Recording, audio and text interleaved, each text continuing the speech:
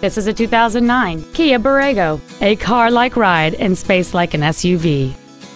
It features a 3.8-liter six-cylinder engine and a five-speed automatic transmission. Its top features include cruise control, alloy wheels, roof rails, traction control and stability control systems, dual airbags, and this vehicle has fewer than 27,000 miles on the odometer. This Kia has had only one owner, and it qualifies for the Carfax buyback guarantee. Please call today to reserve this vehicle for a test drive.